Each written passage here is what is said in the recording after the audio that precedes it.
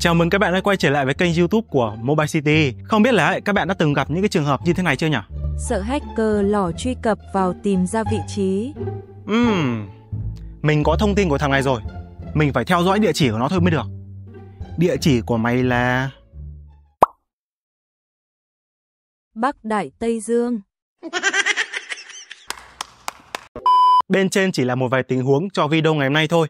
Và ở trong video ngày hôm nay ấy, thì mình sẽ hướng dẫn cho các bạn cách ờ, fake vị trí sang một nơi khác này, fake GPS này, fake IP này để cho khi mà các bạn sử dụng điện thoại ấy, nó sẽ nó sẽ yên tâm hơn một chút. Và cách làm này ấy, thì cũng có một tác dụng nữa, đó chính là giúp cho những bạn nào mà quên chấm công có thể chấm công ở bất kỳ đâu. Bắt đầu video thôi.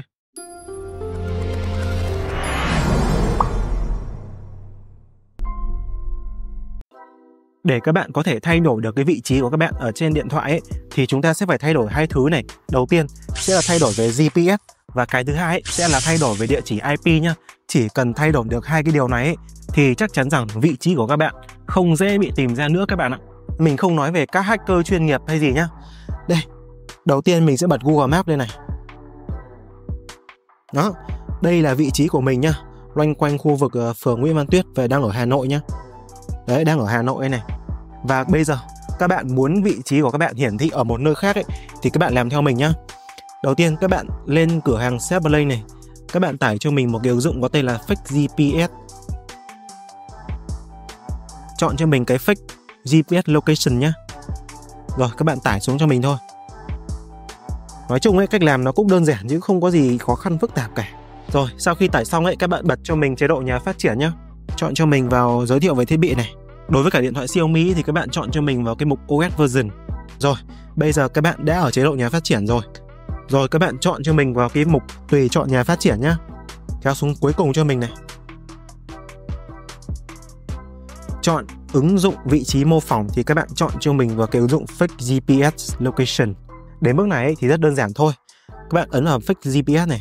Rồi, các bạn muốn vị trí của mình ở Bắc Đại Tây Dương ấy thì các bạn ấn nút nút tam giác này giúp mình nhé.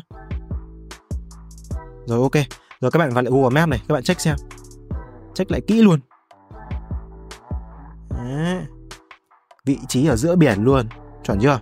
Bắc Đại Tây Dương vị trí ở giữa biển luôn, quá chuẩn luôn đúng không các bạn? Rồi, tiếp theo mình sẽ hướng dẫn cho các bạn cách lấy vị trí để các bạn có thể chấm công ở bất kỳ đâu nhé. Các bạn vào cho mình Google Maps này, các bạn ví dụ công ty của các bạn ở vị trí này đúng không các bạn ấn lì vào đây cho mình này đấy thì nó sẽ hiện lên một cái tọa độ tinh tuyến và vĩ độ nhá các bạn sao chép cái kinh tuyến và vĩ độ này cho mình này sao chép. Rồi mở lại ứng dụng fake GPS cho mình. Và chọn cho mình là go to. Latitude và longitude là các bạn tự hiểu nhá. Kinh độ vĩ độ đấy giá này. Ấn ok giúp mình. Đấy đấy đến lúc này thì cái vị trí của các bạn chọn đúng ở cái điểm ấy luôn. Giờ các bạn ấn uh, đấy đến bước này thì các bạn chỉ việc ờ, bật ứng dụng chấm công lên và các bạn chấm thôi. Ok còn về việc fake địa chỉ IP ý, thì nó đơn giản rồi. Các bạn tải cho mình thứ nhất là 1.1.1.1 hoặc là uh, flash VPN cài đặt cho mình ứng dụng này nhá. Sau khi mà cài đặt xong ấy thì các bạn muốn fake sang Nga, sang Trung Quốc hay sang đâu thì cũng được hết. Ok, nếu các bạn thấy video của mình hay và hữu ích, hãy cho mình một like, một share, một subscribe để mình ra những video tiếp theo hay hơn nha. Tạm biệt các bạn.